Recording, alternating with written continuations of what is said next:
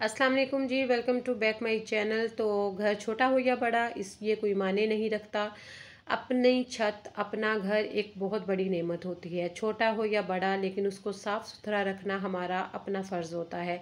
जितना हम अपने घर को साफ़ करेंगे और अगर कोई तारीफ़ करेगा और हमारी यकीन जानिए कि सारी की सारी जो मेहनत है, वो वसूल हो जाती है।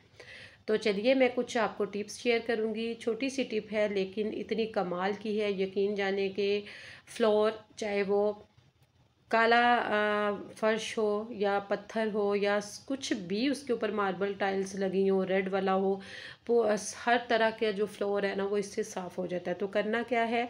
ध्यान से वीडियो को देखिएगा। दो चम्मच यहाँ पर मैंने बेकिंग सोडा लिया है, एक चम्मच मैंने यहाँ पर सर्फ़ लिया है। सर्फ़ आप कोई भी ले सकते हैं।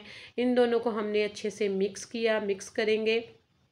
यकीन करें, छोटी सी रेसिपी है और इन टिप्स को फॉलो करेंगे ना तो आप जो है ना ख़ुद भी अपने जब वो फर्श साफ़ सुथरा देखेंगे तो हैप्पी होंगे।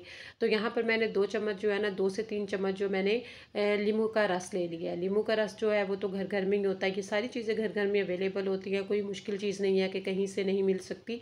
ईजीली बाज़ार से भी मिल जाएगी जगह जगह दुकानों से भी और वैसे भी घर में पड़ी हुई होती हैं।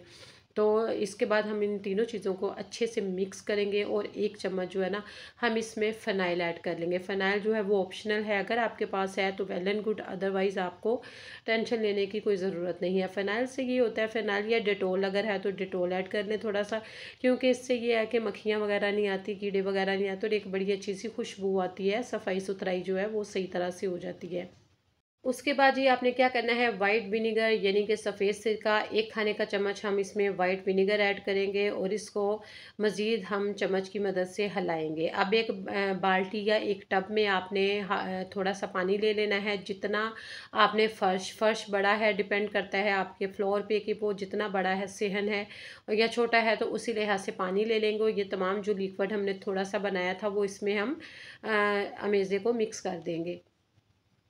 फिर क्या करेंगे जी? इसी पानी की मदद से हम थोड़ा थोड़ा अपने पूरे फर्श पर जो हमने वॉश करना है, जहाँ, जो एरिया हमने साफ़ करना है और वहाँ पर गिरा देंगे। गिराने के दस मिनट बाद हमने वेट करना है, सब्र करना है और आफ्टर टेन मिनट्स हम किसी ब्रश की मदद से या झाड़ू की मदद से उसको रब करेंगे। वहाँ पर अच्छे से अगर आपका मेला फ़र्श है तो थोड़ा सा ज़्यादा रगड़े और यकीन करेंगे इससे इतने अच्छे और साफ़ सुथरा फ़र्श हो जाएगा और जो तमाम दाग दाग दबे होते हैं ना, वो इससे ख़त्म होना शुरू हो जाएँगे। आपको ख़ुद देखेंगे कि आपको काफ़ी इसका नुमाया फ़र्क नज़र आएगा।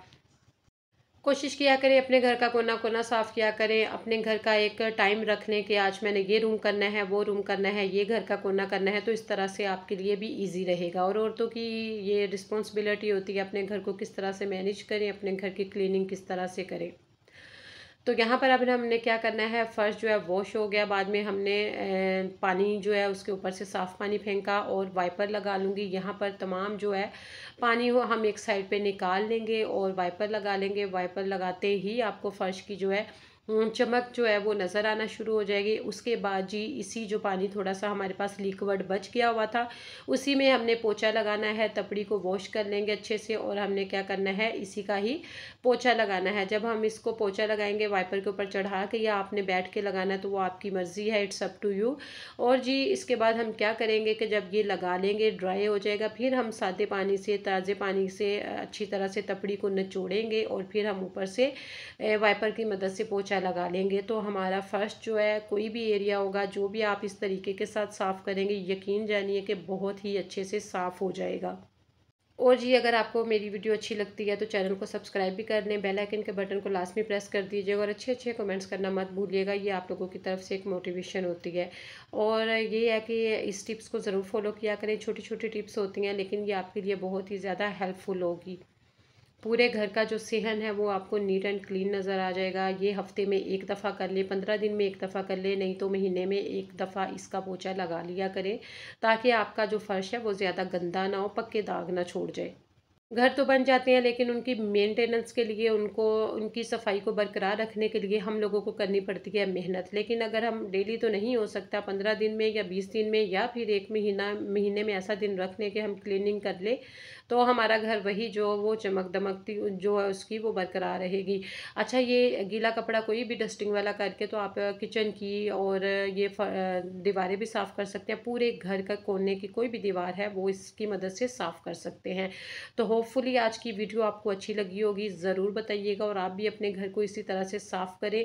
कोई भी एरिया हो, कोना हो, घर का नुक्कर हो, सारी जो है इवन के किचन की भी सारी जो आप दीवारें वगैरह, वो इस की मदद से लिक्विड की मदद से साफ़ सुथरी कर सकते हैं। पहले डस्टिंग वाला कपड़ा निचोड़ के इससे लगाएँ, उसके बाद साफ़ पानी वाला निचोड़ के लगाएँ तो यकीन करें कोने और जो दीवारें हैं ना, वो भी आपकी साफ़ सुथरी हो जाएँगी।